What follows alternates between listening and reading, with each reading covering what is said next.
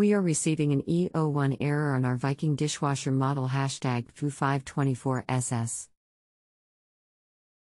The filter is clean and no clog in the hose. Do you know the model of your Viking dishwasher?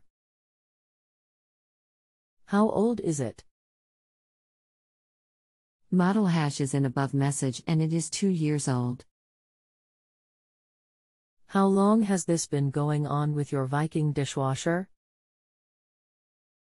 What have you tried so far? Since yesterday. Is there anything else the appliance expert should know before I connect you? Rest assured that they'll be able to help you. When you clear the dishwasher and start it, it will drain, but then goes to the E01 error. Hello, thank you for choosing Just Answer. I am very sorry to hear that you are having trouble with your dishwasher. I am going to do everything I can to help you get this resolved quickly.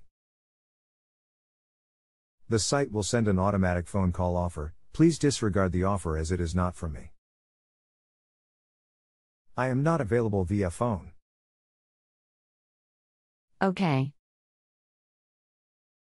It seems water has entered into the base of the unit. Pull it out into the floor and tilt it back 45 degree to let all water drain out and place towel behind the unit to soak up the water.